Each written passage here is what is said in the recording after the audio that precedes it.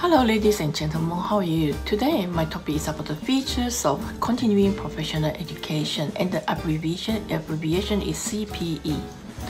So CPE continuing professional education provider processes the expanded skills and knowledge in education, in the evaluation and the consultation.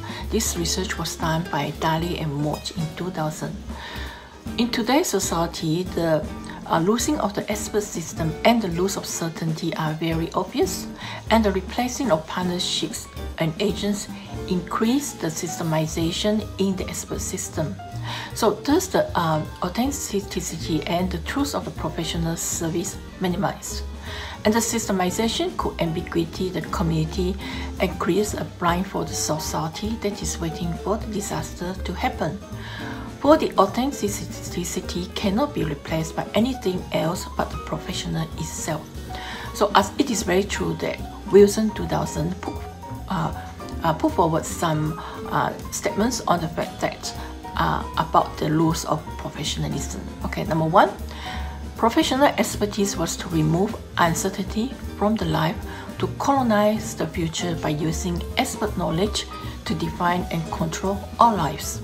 Number two, the growth of expert system is leading paradoxically to the growth of risk and the loss of certainty. And number three, clients trust professional practitioners to act in the client's interest, but professionals' power to do so eroded by the dominance of the professional system in which they work.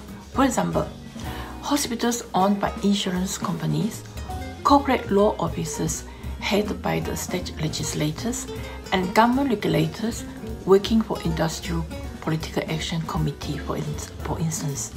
So we need components of effective CPE evaluation theory. CPE evaluation theory helps shape the effectiveness of the CPE program by various stakeholders or agents. These methods are to determine the criteria and to set the standards and to measure the performance.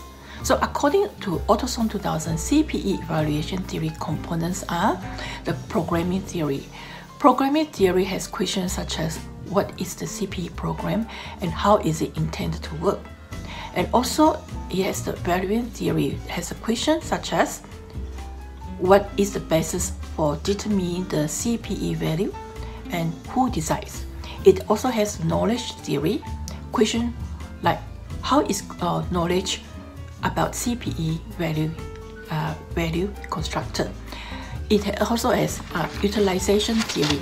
Utilization theory has questions such as um, are evaluation findings uh, used and by whom and toward what aims. Okay, these are the theories, these are the components for CPE evaluation. Okay, so CPE is defined as professional learning in which the transfer of learning and the adoptions of innovation uh, are part of the knowledge construction process. CPE is, is, is characterized by the uh, effectiveness, uh, activeness in constructing knowledge based from practice. So that how knowledge is constructed and how it is linked with professional practice and how the content affects the process. Another question you might ask was putting forward by Mott in 2000. Like, what must the professional know? And what must the professional do in a broader sense? And what is the professional all about? Perhaps these are the questions and the problems that are worth to ask and solve.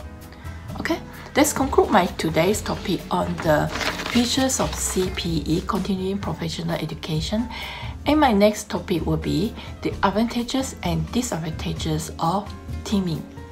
Stay tuned. Thank you for listening and goodbye. And please subscribe to my channel. And also if you like, please put like for me. Thank you very much for listening and have a good day or good night.